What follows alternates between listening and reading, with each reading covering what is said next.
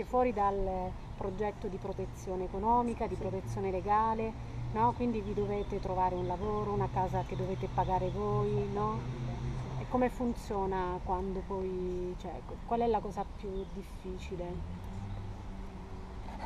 Eh, proprio quella parte è difficile lì, cioè appena che c'hai il permesso di soggiorno, cioè, devi andare via dalla struttura che non hai non sai dove devi andare, perciò gli danno anche la possibilità di stare alla struttura e non vengono convocati eh, presto per, la, la, per, l'audizione.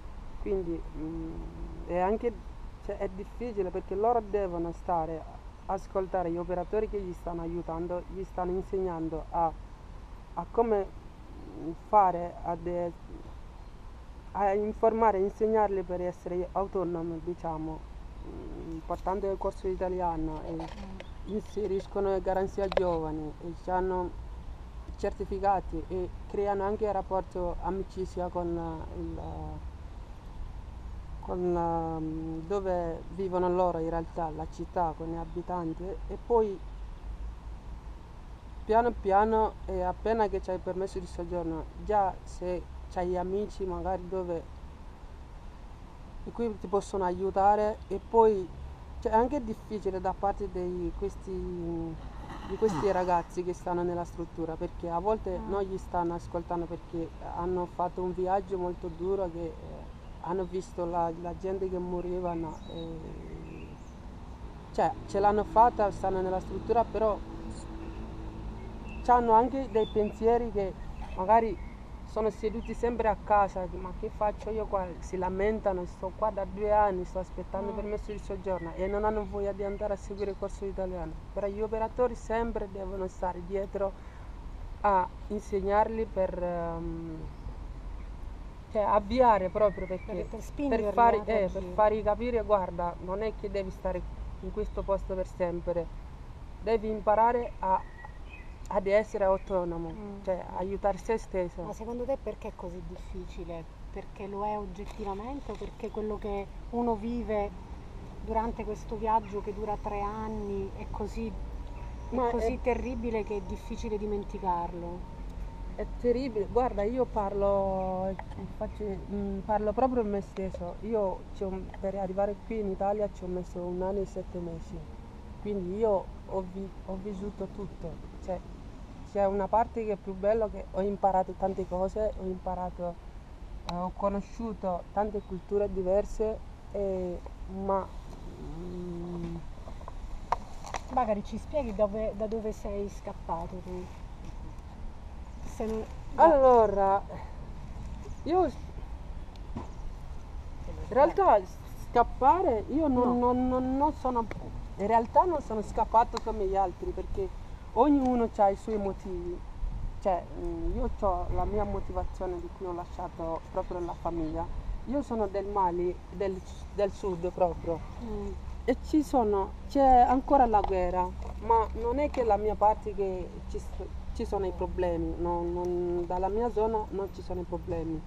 E io, in realtà come mi dicono i miei genitori, mi dicono sempre che sono nato sempre, sono nato diversamente dagli altri figli perché io ho altri 21 figli, ah, altri fratelli. fratelli scusate.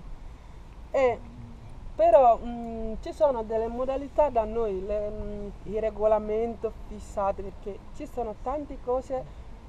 Io quando sono arrivato qui in Italia ho capito che ci, sta, ci sono tante, tante differenze tra l'Africa, soprattutto tra il mio paese è l'Africa, in Italia. Il mio villaggio che c'è sia le leggi del, del, capo di villaggio e anche le leggi famig- del capo della famiglia proprio. Quindi devi stare a seguire tutto. E mm. io a me non, da non piccolo fino, quando, fino, a 15 anni io ho sempre fatto come, come mi pare. Hai rifiutato sempre? Sì, sì. sì.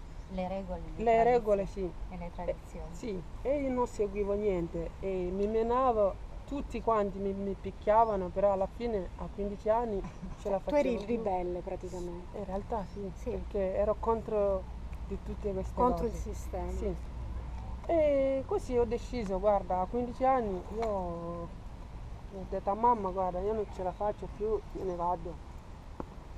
E da lì mamma si è messa a piangere, ma 15 anni dove vai? Detto io mm, in Mali proprio non, non ci voglio stare e vado a cercare un posto dove mm, potrò avere, vivere con, mm, cioè, nella libertà dove... Eh sì, Come vuoi tu. Ma Io- sapevi dove dovevi andare? no, No. così. la- Quindi tu, io vado via, hai cominciato a camminare Sì. senza avere idea di Adesso dove lo andare. zaino, ho svuotato lo zaino dove c'erano i quaderni per andare a scuola, ho svuotato, ho messo due pantaloni, due magliette e l'ho preso. Quindi nella tua borsa c'erano che cosa? Due pantaloni, due magliette, un documento di identità niente. No. Una fotografia, niente. Niente, pantaloni, un po' d'acqua. E niente, Niente di guarda, così. e l'ho preso così e visto che io ero sempre così, qualcuno comincia a parlarne con me, magari Bacar lascia stare questo, non è una cosa buona. Sì, o mi, mi stai dalla mia parte o io ti odio e me ne vado. E cu- quando ho deciso uscendo da casa, tutti erano fermati così, mi guardavano, piangevano tutti, vicini di casa, gli amici. Beh, già lì, dopo, dopo due minuti, ho subito avuto la mancanza della famiglia, della, mm, cioè degli amici, anche a scuola, eh, mm, ho avuto la mancanza. Però io, mm, quando io dicevo una cosa era questo, basta, faccio questo e lo faccio. Quindi allora tu sei scappato non perché qualcuno ti ha costretto, perché tu sentivi di dover fare questo. mi stavano trattando male. Ti stavano trattando Sì, male.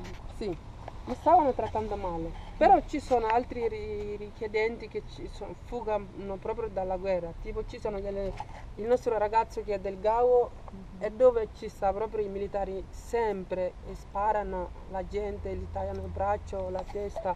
C'è tutto, ma la mia era meno grave, diciamo, Sì. perché l'ho cercato io, potevo anche seguire le, Vabbè, ognuno ha la libertà Sì. di movimento, no? E io ho cominciato che- a camminare a piedi. No? Sono uscito da casa, camminavo a piedi. Anzi, non avevo neanche scarpe perché lì non è che... E quando le hai prese le prime scarpe? In realtà ho preso quelle ciabatte di mia madre e Mm. erano anche rovinati. Cioè, mm, ho strappato un vestito per poter legare bene perché era grande e io avevo un piede piccolino. Ma così. non avevi paura tu? No. quello che avevo nella testa, guarda, non eh, niente. E mm, niente, ho cominciato a camminare a piedi perché lì non ci sono stazioni di treno. Tanto lui è venuto con me in Mali settimana Ah scorsa. sì? Sì. E l'ha visto solo una volta alla stazione del treno. Senza treni. eh, senza treni, quindi passano ogni morte di papa. Lascia stare. E io ho camminato per 20 29 km per raggiungere la città dove potevo iniziare a lavorare un po', però anche un, ragazzi- un ragazzo di 15 anni è difficile anche trovare un lavoro. Però grazie a mia mamma che io sempre vedevo sempre stan- stanca mia madre, cioè lavora, le donne mm, sono molto stanche da noi e fanno tutto, Mm, non hanno i diritti diciamo, donne e bambini. E visto che mia mamma si occupava di tutta questa famiglia, cucinava, lavava i vestiti a mano, scarpe, tutto, e io quando le vedevo fare alcune cose e andavo a aiutarlo, anche sì era un lavoro da donna perché da noi esiste così, ma, ma questo è un lavoro da donna, perché vai a fare essendo uomo? Ma aiutando mamma mm, ho iniziato a imparare perché mi ha servito a imparare a cucinare perché mi ha servito. Io sono arrivato quello, mm, la prima città piedi, a piedi proprio, non avevo mm, da mangiare né da bere, i soldi proprio non ce l'avevo, non conoscendo nessuno. Sono andato ad un ristorante chiedendo se mi potevano dare da mangiare, io comincio a lavare piatti. E va bene, alla fine l'hanno accettato, mi davano da mangiare, io lavavo i piatti. In Mali sempre. In Mali sempre. E Beh, alla fine piano piano ho visto, vi- prima che mm, si apre il ristorante facciamo preparazione tutto e il, cuo- il cuoco comincia a cucinare per i- tutti e poi cominciamo a fare lavoro per eh, la sala e facendo quello, preparando la cena per io- mm, quelli che lavorano al ristorante, io un giorno mi sono inventato i piatti che faceva mia madre. Cioè, mi sono messa vicino a lui e ho cominciato a piatto, cucinare? Sì, E dove Per- fuori, per la strada. Fuori per la strada? Sì, sì. Perché non fa freddo come qua. Quando lui sa, sa qualcosa lì. Ma non è pericoloso? No, no, non è pericoloso. Non è pericoloso. E, niente, l'hanno assaggiato e ma che buono, che buono. E mi hanno detto ma possiamo fare un menù, facciamo uscire. E così sono diventato cuoco qui al ristorante. E mm, niente, però io non volevo stare in Mali.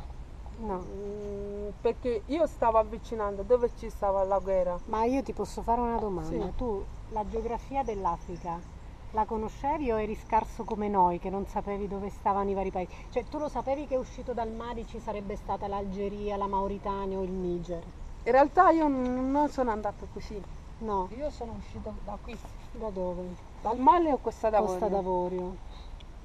Costa d'Avorio sono andato a Ghana, Mm. Togo, Benin, Nigeria e Camerun. Perché volevo andare alla Guinea Equatoriale. Come mai? Cioè, in realtà la decisione l'ho preso quando stavo in Costa d'Avorio. Quindi esiste una, esistono dei flussi migratori all'interno dell'Africa?